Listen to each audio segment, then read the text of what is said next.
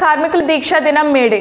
ప్రపంచవ్యాప్తంగా ఎనిమిది గంటల పనిదినం కోసం కార్మికులు రక్త తర్పణంతో గావించబడిన దీక్షా దినం మేడేను రాజాం బస్టాండ్ ఆవరణలో ఏఐటీయూసీ ఆధ్వర్యంలో ఘనంగా జరిగింది.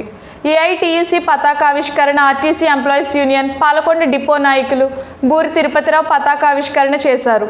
ఈ సందర్భంగా ఏఐటీయూసీ స్థానిక నాయకులు నీలకంఠేశ్వర్ యాదవ్ మజ్జి కృష్ణారావు మాట్లాడుతూ ప్రపంచవ్యాప్తంగా కార్మికులు మేడే ఉత్సవాలను ఘనంగా నిర్వహించుకుంటున్నారు అని అన్నారు